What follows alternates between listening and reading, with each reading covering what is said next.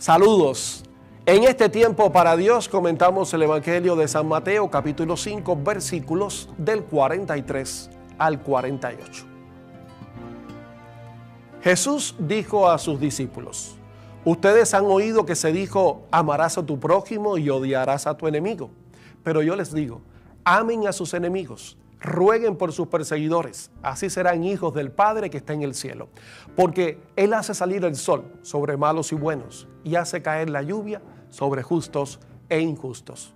Si ustedes aman solamente a quienes los aman, ¿qué recompensa merecen? ¿No hacen lo mismo los publicanos? Y si saludan solamente a sus hermanos, ¿qué hacen de extraordinario? ¿No hacen lo mismo los paganos? Por lo tanto, sean perfectos como es perfecto el Padre que está en el cielo. La frase con la que concluye el Evangelio de hoy resuena cada vez con más fuerza. Por lo tanto, sean perfectos como es perfecto el Padre que está en el cielo. Es que ese es precisamente el deseo de Jesús, un deseo que se traduce en que todos alcancemos la santidad, una santidad que a veces nos parece inalcanzable, pero que sí es posible si con la gracia del Espíritu Santo nos animamos a tener actitudes como las del Padre. Y los gestos que se manifiestan en el Evangelio hablan de eso precisamente. Hablan de amar al enemigo, de orar por los que nos persiguen, de imitar al Padre, que hace salir el sol sobre malos y buenos, que hace caer la lluvia sobre justos e injustos, es decir, de superar la justicia humana. Y eso, eso es misericordia. Por lo tanto, el camino a la santidad, el intentar alcanzar la perfección del Padre, significa para nosotros actuar con misericordia, porque Dios es misericordioso y todo el que practica la misericordia se parece a Dios.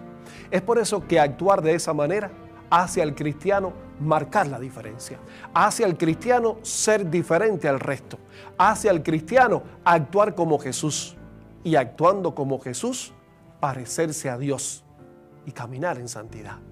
Hoy el mundo, incluso ese mundo que tenemos tan cercano, como en nuestra familia, nuestra comunidad, nuestro grupo, nuestro trabajo, necesita gestos de amor y de misericordia, no de odio ni de venganza.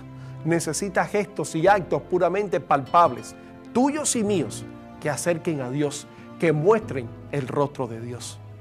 Qué bueno sería que cada noche, al final de nuestro día, nos preguntemos, cuánto he vivido hoy en santidad, cuán misericordioso he sido, Señor Jesús, tomando las palabras del Papa Francisco, que sea la misericordia la que guíe nuestros pasos, la que inspire nuestras reformas, la que ilumine nuestras decisiones, que sea el soporte maestro de nuestro trabajo, que sea la que nos enseñe cuándo hemos de ir delante y cuándo debemos dar un paso atrás, que sea la que nos haga ver la pequeñez de nuestros actos en el gran plan de salvación de Dios y en la majestuosidad y el misterio de su obra. Y permite, Señor, que mañana, aquí mismo, podamos tener otro tiempo para ti.